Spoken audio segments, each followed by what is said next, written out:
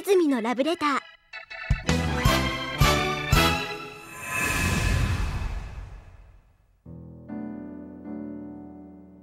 私織本泉。イタリアからの帰国子女。日本の学校に来てから周りの友達とどうもしっくりこなかった。心を打ち明けて語り合う友達が見つからなかった。でもデジタルワールドで知り合った仲間はちょっぴり違う。みんな自分勝手なところがあるけど。でもでも。拓也待ちなさい。何慌ててるのよ。あなたねもう少しじっくり考えてから行動したらどうなの？確かにね。あなたはハッと感じたらパッて動かなきゃ気が済まないタイプかもしれないけど日本には急がば回れっていうことわざがあるでしょ？あ女の子のくせに生意気言うんじゃない？あらあなたね私より年下なのよ。そりゃ同い年かもしれないけど私の方が3ヶ月生まれたのが早いんですからね。お姉さんの言うことは素直に聞きなさい。あ言っちゃダメだってば。危ないってば拓也。もうしょうがない子ね。でも私せっかちだけどいつも心を熱く燃やしてる拓也。好きよ。純平？電車の中で初めて会った時大きな目で私のことジロジロ見たりしてデリカシーのない人だなって好きになれなかった。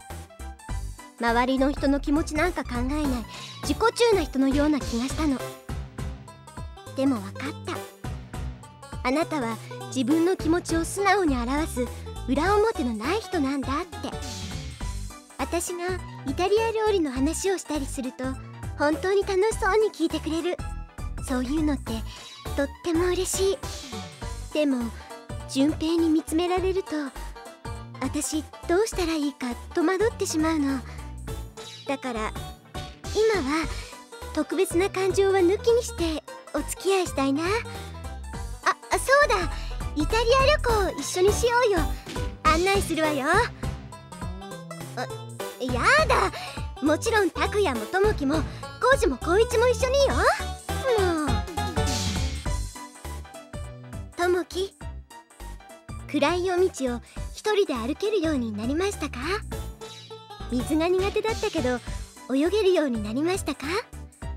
友達とは仲良く遊んでいますか？もういじめられてることはないよね。だって君はデジタルワールドで勇気を見つけたんだもの。もしかしたらデジタルワールドで一番成長したのはともき君かもしれない。どんな時でもその勇気を忘れずにね。光一くんあなたの少し寂しげな横顔ずっと気になっていました。ちっちゃい頃から辛い思いをたくさんしてきたんだよね。本当はもっともっとお話ししたかったのに機会が作れずに残念です。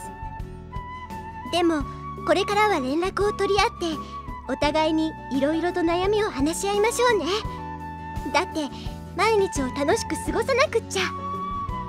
デジタルワールドを旅してそう思ったの。じゃあまた連絡するね。なぜ？その青い瞳は憂いを秘めているの？なぜ？その唇は恥じらいをたたいてつぐんでいるの？なぜ？長い髪を風に揺らしたまま振り向こうとしないの？何か言って？ううん。何も言わなくていい。黙ったままじっと話を聞いてくれているだけで私はなぜか心が安らぐ、はあ、もっとたくさんあなたとお話ししていたい。心に浮かんでは消える。取り留めのない言葉。いつか大人になって再びあなたたちと会った時。私はあなたたちに言われるでしょうか。素敵なレディーになったね